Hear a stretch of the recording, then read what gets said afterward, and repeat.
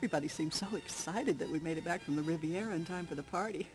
Are you having a good time, Elena? Of course she's enjoying the party. How could such a pretty girl do otherwise?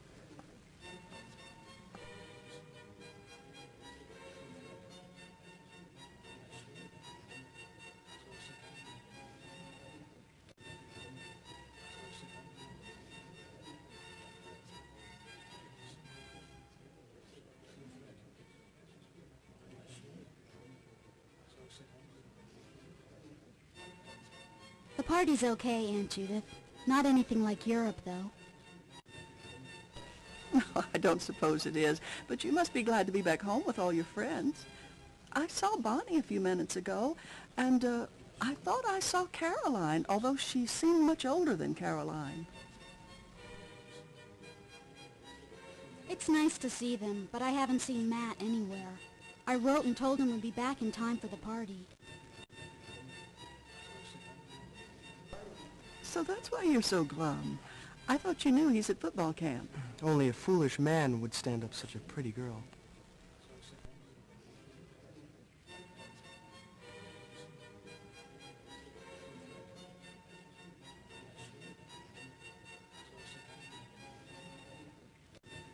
Excuse me? I don't think we've met.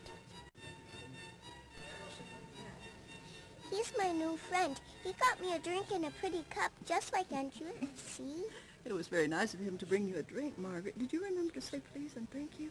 I remember, just like you told me to. Please and thank you. When I handed her the glass, she said please and thank you. I only met Mr. Smith a few minutes ago when he was nice enough to bring Margaret back to me. I was nearly frantic. I only turned my back for a second and she was gone. Kids have a habit of disappearing with the blink of an eye. You can never be too careful.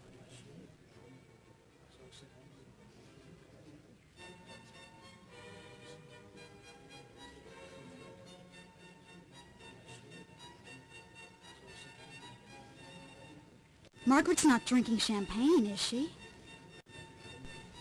Champagne? Oh no, it's ginger ale. Oh, don't worry, Elena. Mr. Smith is a new teacher. He just arrived in town to start the school year.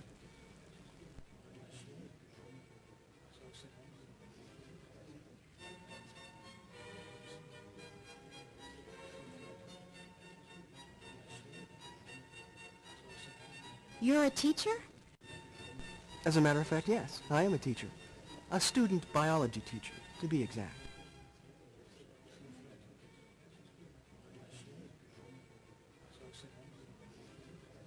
Student biology teacher? Will you be teaching high school? That's me, Damon Smith, scourge of the bio and advanced bio classes. I'm also low man on the totem pole and in charge of the Spirit of Fells Church display.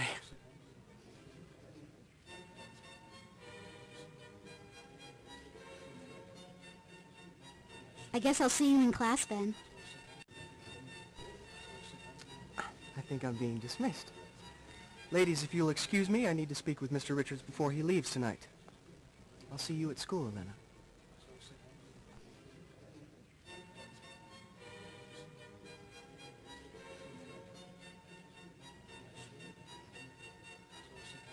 How much longer do you want to stay, Aunt Judith?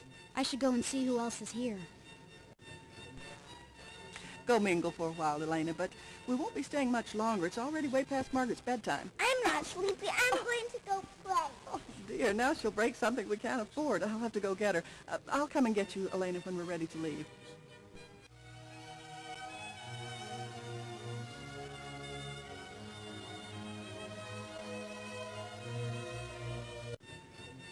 Elena, it's so great to see you. I should have known you'd make it back for such a major party. How was the Riviera? This isn't a major party, Bonnie. I went to some real parties in France.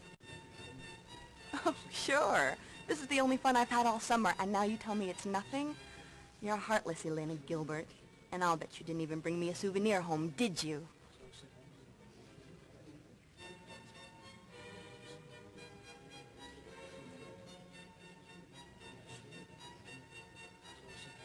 Course I did. And you're right. This isn't a bad party for Fells Church.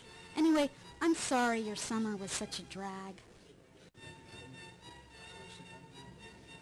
My summer hasn't been so bad.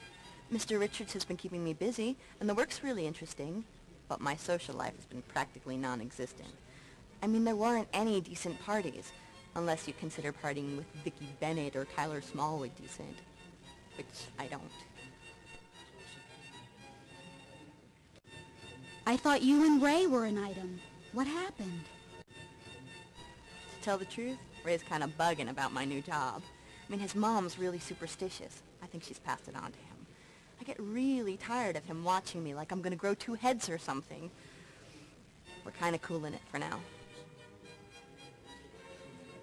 You're not handling anything, um, dangerous in this new job, are you? Not unless it's possible to choke to death on dust. There are a few boxes Mr. Richards won't let me touch, like the one his new artifact came in, but nothing seems dangerous. What does Mr. Richards do with this collection? Mostly he's researching things that I've cataloged. But lately he's been locked away with some new artifact he got. Reporter even came the other day to interview him about it. I wonder when it's going to be in the paper. I should go ask.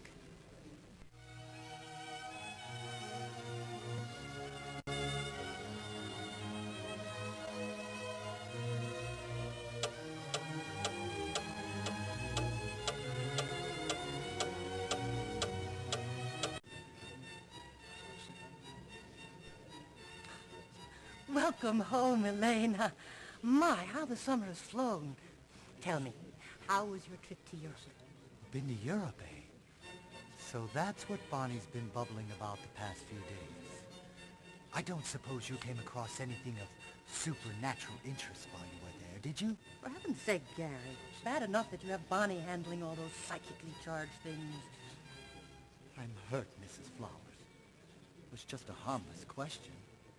And do you honestly believe that I would allow Bonnie to access anything potentially dangerous? You know my feelings on the matter. We don't need to discuss it here. You got back just in time for the art gallery's grand opening. What do you think of it?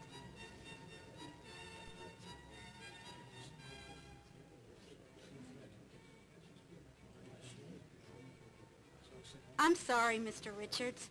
The only thing supernatural I saw in Europe was the guys. They were positively to die for.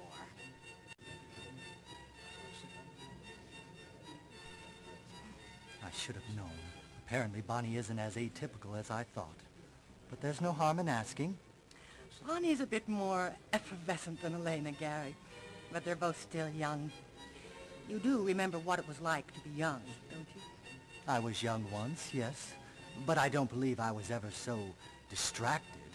I started my vocation early. I acquired a painting of the Delphi Oracle when I was only 16.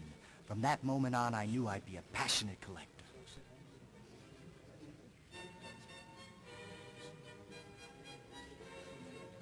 What's the Delphi Oracle? In ancient Greece, Delphi was considered to be the center of the world. There was a priestess there called the Pythia. She was an oracle, which means that she went into a trance and predicted the future. That's true, Elena. But it's also true that every one of her predictions had more than one meaning. You had to be very careful about what interpretation you followed. Her words could lead you to fortune or disaster.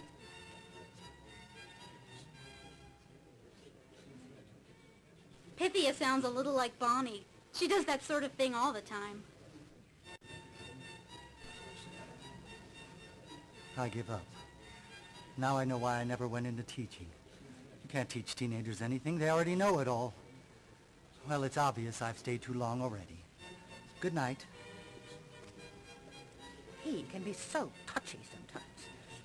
Pay no attention to him, Elena. He has some kind of new addition to his collection, and he's been mad as a hornet all night about being dragged away from it.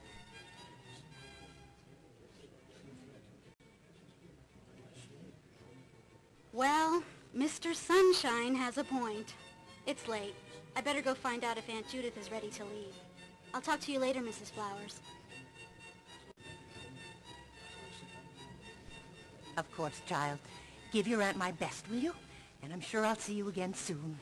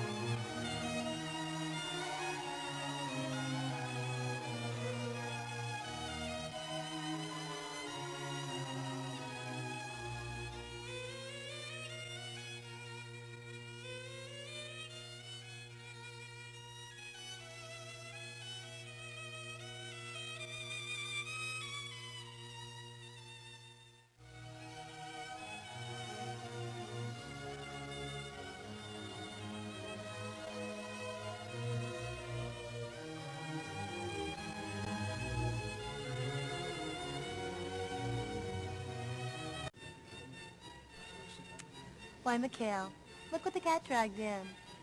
Elena, dear, how sweet of you to dash right over from the plane. And you didn't even take time to tidy up. I'm flattered. Wonderful.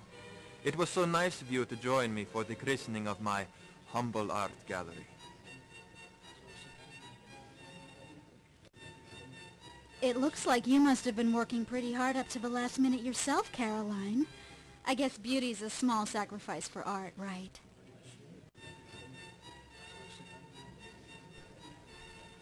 What would you know about sacrifices, Elena?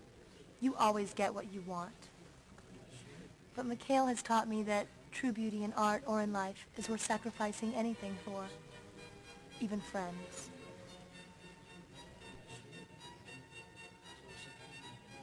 Then it's a pity you don't have many friends to sacrifice, isn't it? I have all the friends I need, Elena. At least the only ones that are important. Isn't that right, Mikhail? Pardon me? I'm, I'm sorry, Caroline. I, I didn't hear what you said. I said, isn't it important to have friends? Friends are always important. Especially when one has no family and is new to an area. But please, tell me, who is this lovely creature? A friend of yours, no doubt.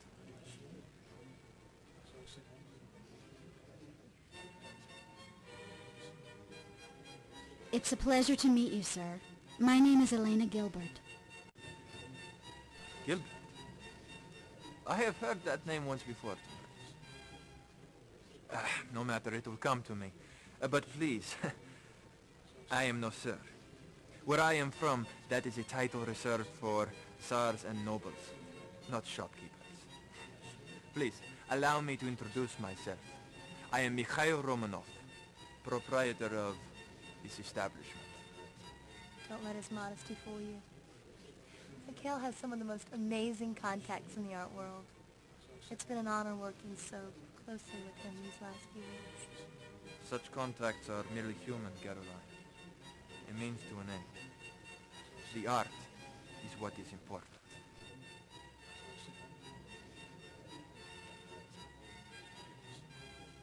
Where did you find all of this beautiful artwork, Mr. Romanov? This area of your country is rich with antiques and undiscovered artists. Speaking of undiscovered artists, have you had a chance to talk to Mrs. Flowers, Mikhail? Well, there are so many people here, I hardly know whom I have met. And I'll be happy to take you over and introduce you. You do have that whole other wing to fill, you know. Of course, you are right. Always looking out for the welfare of the gallery. ah, now I remember. Uh, please, tell your Aunt Judith and your charming sister that I would be happy to join your family for dinner some evening. But now, you must excuse us, dear Elena. Duty calls.